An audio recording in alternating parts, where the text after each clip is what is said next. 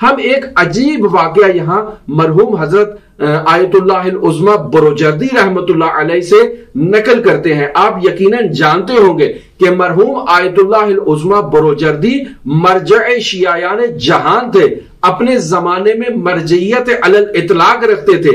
एक दिन दरस खारिज की बहस के अंदर आयतुल्ला बरुजर्दी एक ऐसे आलम में आते हैं और आकर बाकायदा दर्स के आगाज़ में हज़रत इमाम हुसैन आलाफ तहियत वसना की मजलूमियत के मसाइब पढ़ते हैं, बाकायदा अशार मुसीबत पढ़ते हैं और मसाइब से दर्स का आगाज़ करते हैं। तो लाभ ने कभी आयतुल्ला बरुजर्दी के दर्स की यह कैफियत नहीं देखी होती। लिहाजा सवाल करते हैं कि इस कैफियत के पीछे राज क्या है? क्या वजह है कि आयतुल्ला बुरुजर्दी आज दर्स का आगाज़ हज़रत अबा अब्दुल्ला हुसैन तहियत वसना की मजलूमियत और मुसीबत से कर रहे हैं? तो आयतुल्ला बुरुजर्दी कहते हैं कि मैंने कल रात को ख्वाब में कयामत का मंजर देखा है।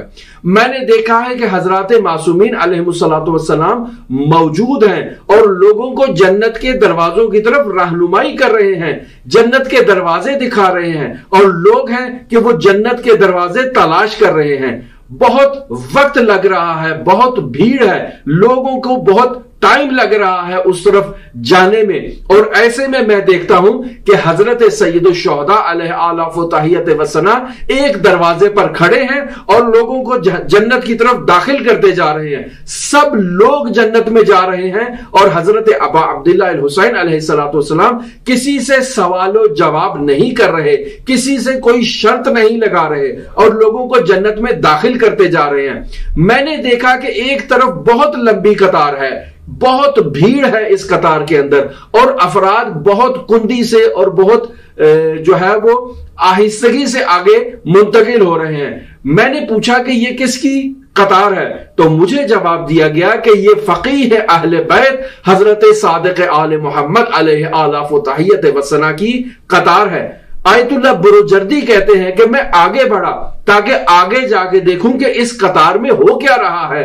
बिल आखिर है। जब मैं आगे गया तो मैंने जाके देखा कि शेख मुफीद अलहमा का हिसाब ले रहे हैं हज़रत इमाम जाफ़र सादिक, कि आपने ये जो फतावा जारी किए हैं, इन फतावा की बुनियाद क्या है? दलील क्या है? हुज्जत क्या है? तो मैं इस मंजर को देखकर नहायत मुताजिब हुआ और मैंने ये फैसला किया अपने दिल में कि अगर मैं इमाम सादे के आल मोहम्मद की इस कतार में खड़ा हो जाऊँ तो बहुत देर मुझे लग जाएगी जन्नत में दाखिल होने में और बहुत ही सख्त हिसाब हज़रत सादे के आल मोहम्मद ले रहे हैं।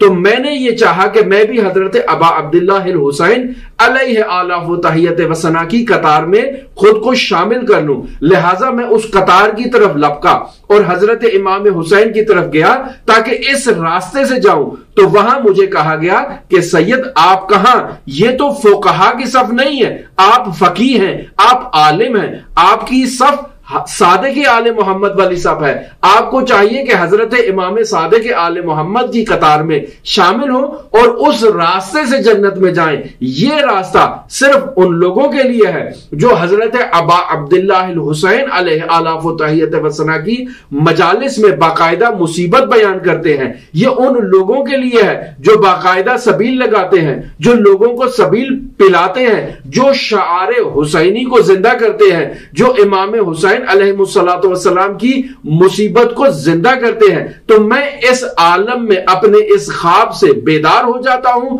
और फिर यह फैसला करता हूँ कि मुझे इमाम सादिक आल मोहम्मद की कतार में शामिल नहीं होना, मैं उस कतार से हरगिज जन्नत में नहीं जाना चाहता।